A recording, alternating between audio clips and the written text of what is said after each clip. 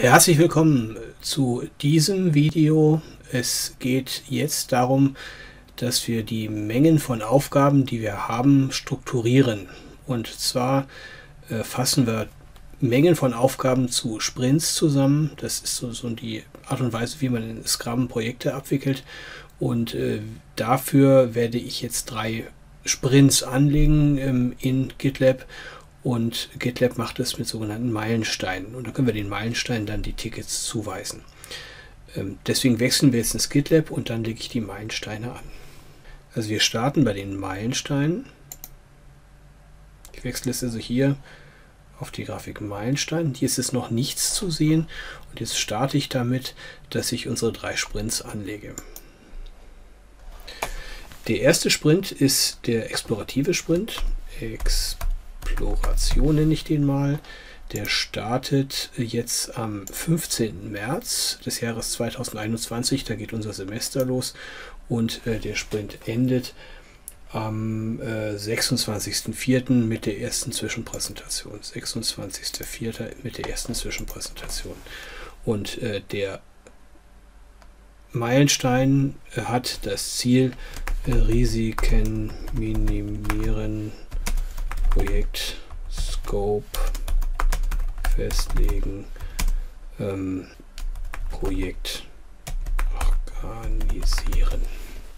Hat natürlich noch mehr Ziele, ähm, aber das Sie müssen jetzt auch nicht lange beim Schreiben zu gucken. So, das Create Milestone. Jetzt haben wir den ersten Meilenstein erzeugt. Ähm, Sie sehen hier, der äh, Meilenstein hat auch eine Grafik, wo man so ein bisschen Projektverlauf äh, verfolgen kann, sogenannten Burndown-Chart. Ähm, sobald wir Tickets zugewiesen haben, können wir sozusagen die Menge der abgearbeiteten Tickets anschauen. Ähm, man kann ähm, entweder die Zahl der Issues äh, abzählen, die abgearbeitet worden sind, äh, oder sogar nach äh, geschätztem Aufwand gucken, wie weit es äh, abgearbeitet wurde. Das ist Issue Weight. Wie gesagt, da werden wir mit Storypoints arbeiten. Und hier unten sieht man auch die Liste der Tickets. Bisher haben wir nichts zugewiesen, insofern ist das jetzt nicht so spannend. So, nehmen wir weitere Meilensteine. Ich klicke jetzt hier nochmal auf Meilenstein, New Milestone. Jetzt haben wir als nächsten Sprint den Wachstumssprint. Wachstum, der startet, äh, wenn der andere Sprint aus ist, also am 27. April und der endet am äh, 7.6. 7.6. wieder mit einer Zwischenpräsentation. Ähm, hier äh, System wächst, wächst und äh, User Stories werden implementiert. Das ist so ein bisschen das, was beim Wachstumssprint passiert. Ähm, wir arbeiten ja mit ähm, drei Sprints, ähm, weil wir nur eine Laufzeit von insgesamt etwa drei Monaten haben. Und im ersten Sprint, dem explorativen Sprint, äh, geht es darum, die Risiken rauszumachen und das Projekt besser zu verstehen. Im zweiten Sprint haben wir dann das Wachstum, das heißt, da kommen die Features dazu und äh, das System wächst User Story für User Story, solange bis wir so ein halbwegs brauchbares MVP zusammengebaut haben. Und im dritten Sprint, dem Konsolidierungssprint, geht es dann darum, äh, zu polieren, das Ganze präsentabel zu machen, äh, also vielleicht ein Präsentationsvideo zu machen, äh, das System ausführlich zu testen, ähm, noch kleinere Verbesserungen zu machen, aber letzten Endes eine Lieferfähigkeit herzustellen nach diesen drei Sprints.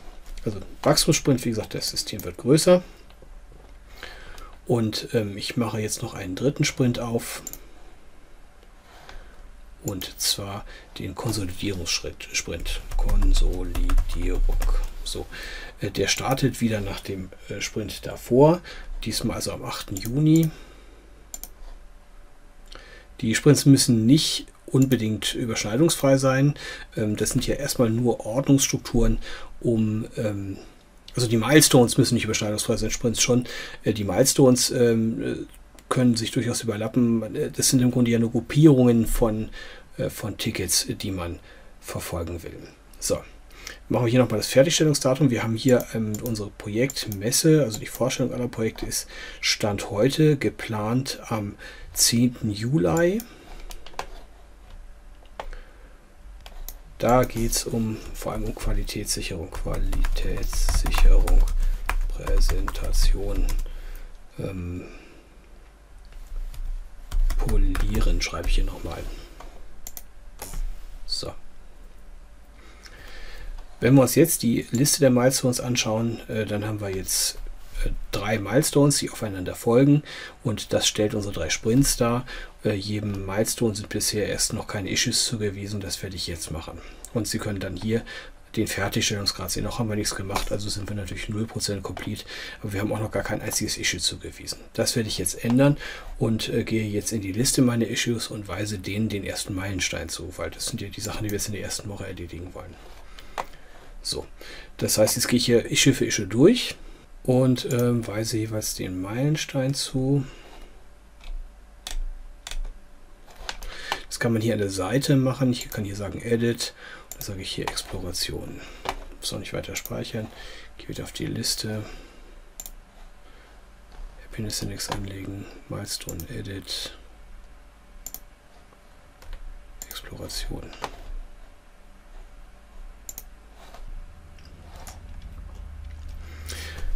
So, jetzt habe ich allen ähm, bisher angelegten Tickets den ersten Meilenstein zugewiesen, weil das sind ja die Themen, die wir in der ersten Woche abarbeiten wollen. Festzuhalten ist, diese Tickets haben Arbeitsumfang von allesamt weniger als einen Tag, äh, sonst wären die möglicherweise als Tickets zu groß. Schauen wir uns den ersten Meilenstein noch mal genauer an, jetzt nachdem ich die Tickets zugewiesen habe, den Meilenstein.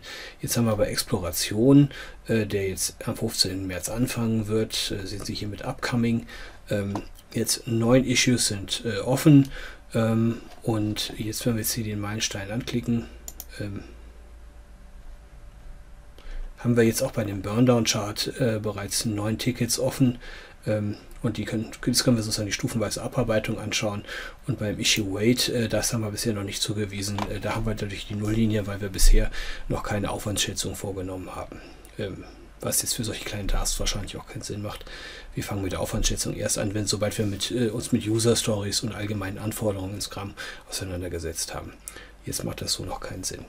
So, also wir sind jetzt fertig mit den Meilensteinen.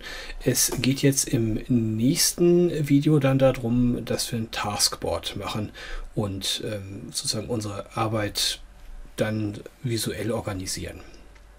Bis zum nächsten Video. Vielen Dank fürs Zusehen bis hierher.